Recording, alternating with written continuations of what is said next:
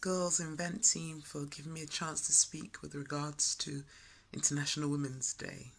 My name is Marian and my surname is Kwei. I had my brother die at nine years old. When I was nine, he was 18. And that was a very pivotal period in my life because it changed so much. It changed the dynamics of my family. All of a sudden, my older brother, who was my comfort, my strength, was gone. And I think I chose to swim and not sink. It was very difficult, but I remember staring at the window and thinking that things would never be the same again. But nonetheless, things things got better with time. I missed him a lot. He taught me my times table, but I remember him with joy. And so things got better. It gave me a inner strength. It gave me a resilience very young on.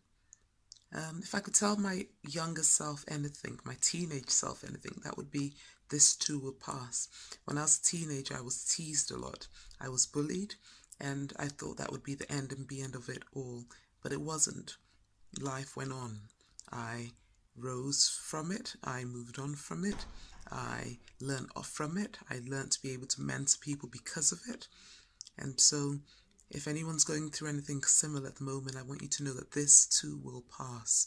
That there's always light at the end of any any tunnel. And there's a quote by Nelson Mandela that I really live by, which says that it always seems impossible till it's done.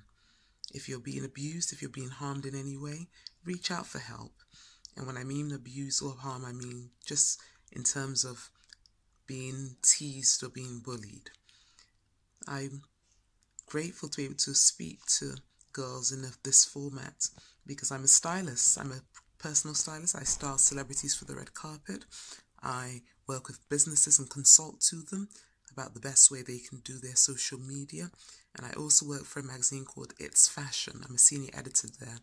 And all these roles have come together for me because they help me help people.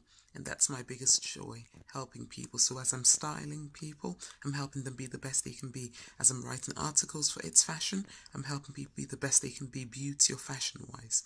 And as I consult with businesses, I'm helping them be the best they can be. If I could give any message to any young girl out there, it simply would be that whatever you're going through, Whatever is happening in your life right now, you're special. God created you for a reason. You're not here by chance. Whatever you're being told, whatever you might think, whatever the magazines might be telling you, you are not here by chance. You are special. There's only one of you. God loves you.